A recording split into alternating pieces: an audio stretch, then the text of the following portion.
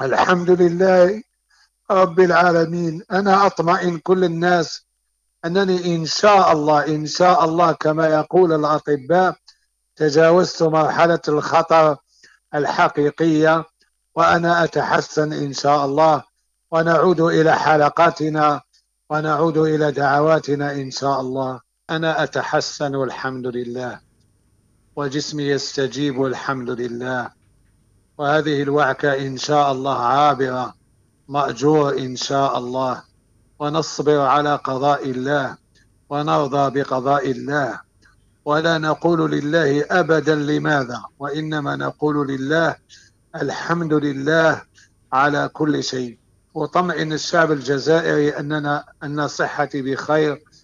وأن دعواتهم دعواتهم دعواتهم عجلت بشفائي.